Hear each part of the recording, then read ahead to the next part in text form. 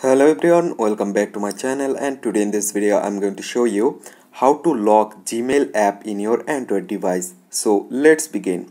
So guys if you want to make privacy or if you want to make secure your uh, gmail app in your android device how can you lock it? In this video i'll show you that. So for that you just need to open your phone settings. Right now scroll down and find apps and open manage apps or you just need to open uh, app lock.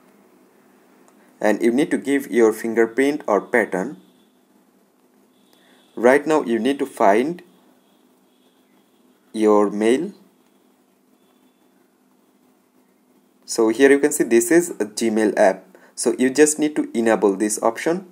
And that's it right now. If you let's back and open your gmail um, you can see they ask you to give your uh, pattern or fingerprint to open it. So in this way you can lock your gmail in android device. Hope guys this video can help you. Don't forget to like and subscribe to my channel